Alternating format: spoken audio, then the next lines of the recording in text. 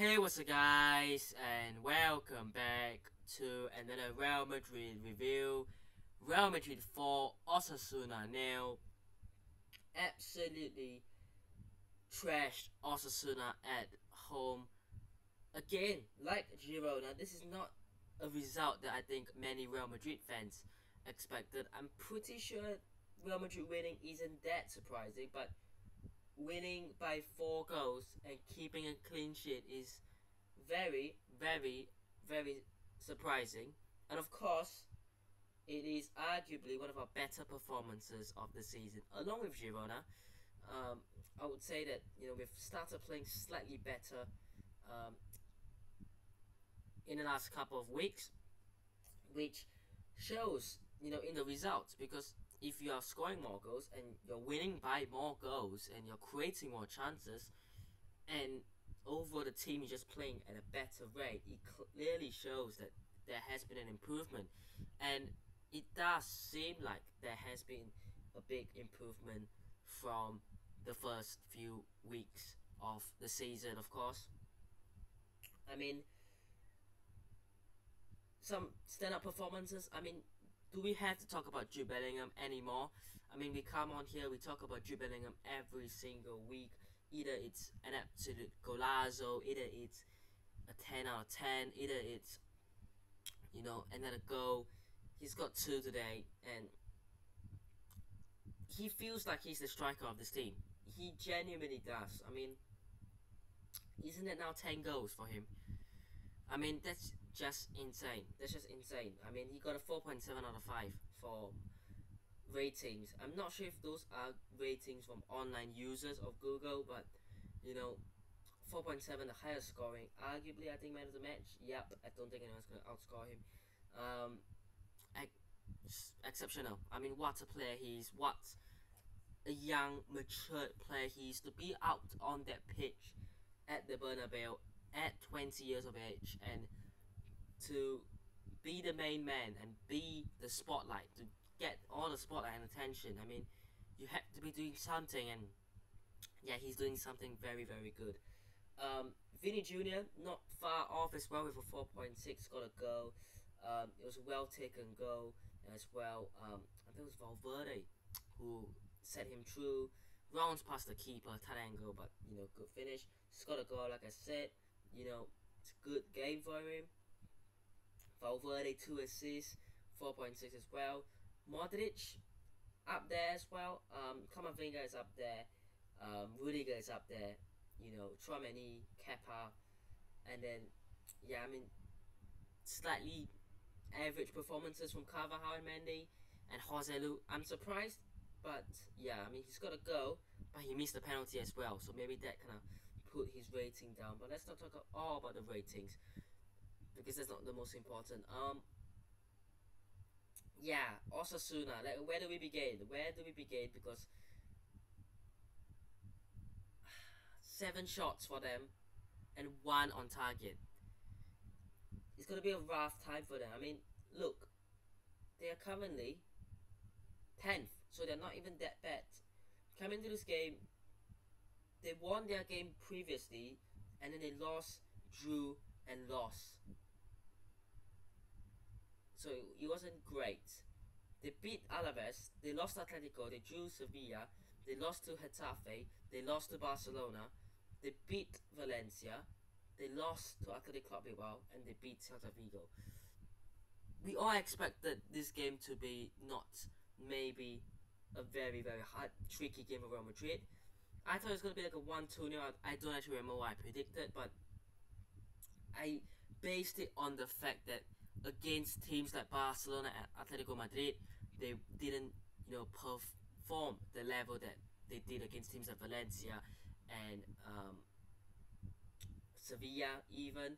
So I thought that they were going to lose, and I pretty much was certain of that.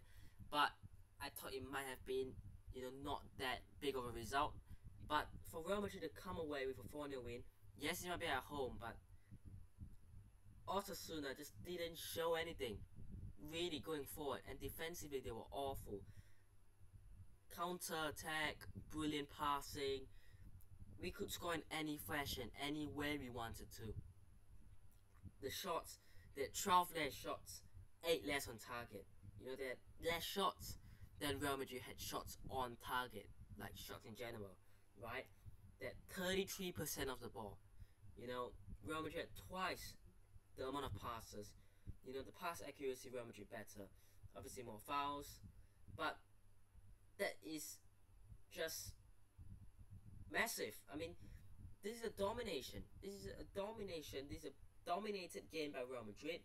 And can we say Real Madrid do not deserve the 4 0? No, we can't. Do Real Madrid deserve it? Yes. You know, Real Madrid do deserve this result. And this 4 0 scoreline. But let's talk about overall. Um, yeah, let's talk about the goals. You know, first goal, Jude Bellingham. I mean, it was a great pass by Modric. Not gonna lie, great vision. Carvajal lays it off to Bellingham on his left foot. He can do basically anything with his right foot, his left foot, his header. You know, he can score in any way possible. He scores beautiful goal. 1 0 going to the break.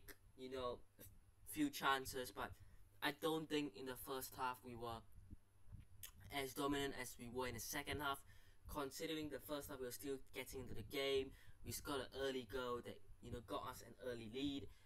That was crucial because if we didn't get an early goal, it could have gone into the break nil nil, and Osasuna maybe could have gotten themselves a goal, a quick counter goal. We went one 0 up, you know, and then second half came out the pitch. I think Jose Lu should have scored that opportunity. He just flashed wide of the post. Um, and then Jude Bellingham scored again. Just dribbles to the ball freely, finds Valverde. Valverde just gets a slight touch. And then Bellingham, who is played on side. Um, no idea who played him on, but he was played on side. And yeah, I mean, past the keeper, through his legs actually, and made it 2 0. Like I said earlier on, Vini Jr. counter attack goal, 1v1, rounds past the keeper, it's a tight angle, but squeezes it in, and then assists Joselu to make it 4. Joselu has a penalty, I think he has to score that. Realistically, it's one of the worst penalties I've seen. I mean, yes, we came out with a win, and yes, it didn't really affect us, it would have been nice to get a 5 0 win. It would have been nice for Joselu to get 2. But that penalty was straight at Herrera. That was straight at the keeper. I mean, if you go on to, you know, these ratings on Google, I mean, Herrera is literally the highest performer in terms of the ratings alongside their striker. Yeah, literally, he's arguably joined highest in terms of his rating. And it tells you a lot because he was honestly atrocious, but he saved the penalty. So he prevented it from being 5 0, I guess. But look, this is a positive result because now we're heading into an international break for two weeks. But the problem here is how is the form going to be like with this break? Is it going to be affected? Is it going to remain the same? Who knows, right? But so far this season we've played really really well except for the one odd game away against Atletico. You know that was a really really strange game. But where would I kind of rank Real Madrid in terms of or rate Real Madrid so far for the first ten games, right? I would say performances wise, you know, we've done pretty well since the start of the season. Um, because you know we went through a big patch in August and September where it was not you know looking like we were playing at our best, especially August. September we started playing better, and then we had obviously that dented result against Atletico Madrid. But we've started October really really well. Is it going to be a slight small form of patches, or is it going to be proving that this team is actually really, really, really good. Now we'll see when we come back against Sevilla in exactly two weeks' time. Actually, we will see, right? But performances wise, we've done really, really well. In fact, clean sheets wise, we've kept four clean sheets out of I think that's six games, isn't it? Since Union Berlin, and we've basically kept two out of five. So basically, for the first part of the season, it was two out of five, and then after Union Berlin, it was four out of six. So we're definitely doing better defensively since the first few matches. Going forward, scoring more goals. I mean, you're looking at four against Osasuna, three against Napoli, three against Girona, two against Las Palmas, a goal against Atletico, but it doesn't really matter. But before that, you're looking at one against Celta Vigo, and two against Getafe, and two against Sociedad, and three against Almeria. It was not bad. We got away with it. We got the three points, but it was not a good way to really win. If it, if that makes any sense. Basically, it was not a convincing way to get the game won. Basically, and we were not doing it convincingly. So, you know, to get this 4 0 win really, really caps off and really, really proves that ha- there has been an improvement since the Atletico Madrid game. I don't know if it's specifically to the Atletico Madrid game. After that game, we were like, let's, you know, start playing better because clearly after that game, you know, we've got basically what 12 goals in four, basically, right? And we've conceded just two in the last four. So, record wise, it's obviously looking good. In terms of the league, we're top, and we will be top regardless of what happens to Barca or Atletico so far, you know, eh, or any other team because we're top by four points. Girona played earlier, they beat Cadiz away, they got the three points, but they're still two points behind, of course.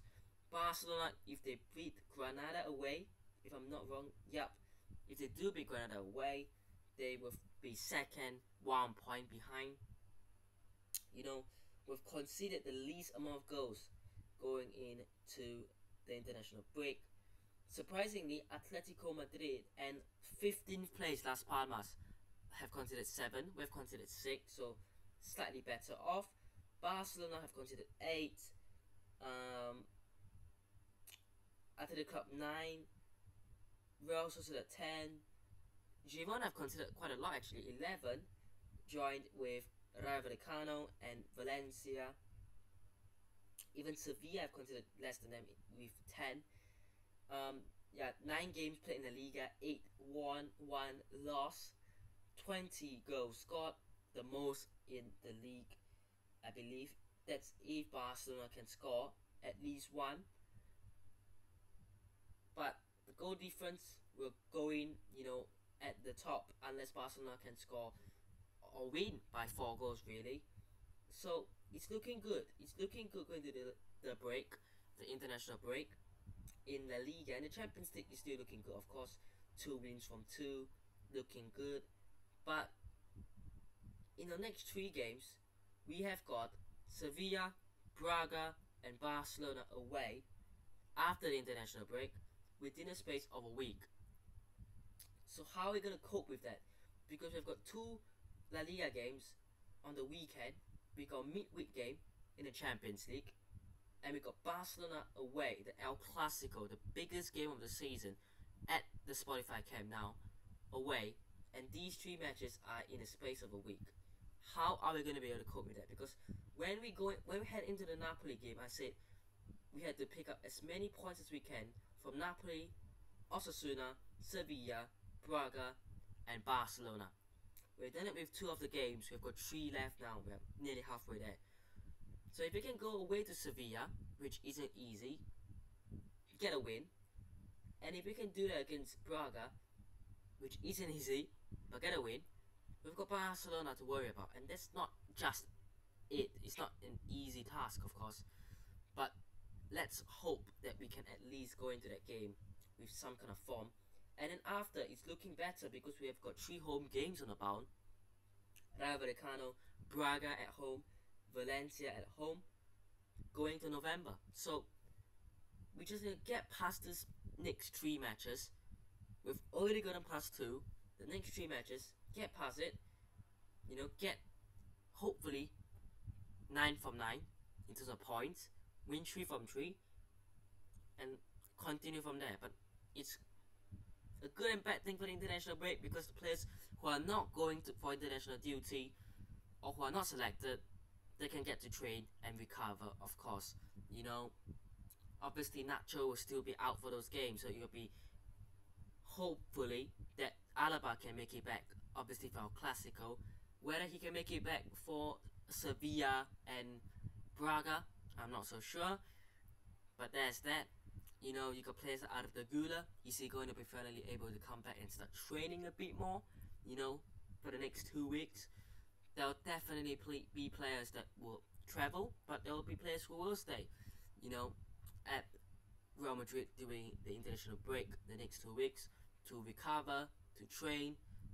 It will be a bit of a miss to not watch Real Madrid play for the next two weeks, but let's just have a bit of a break. You know, I think everyone deserves a break. You know, like these players really.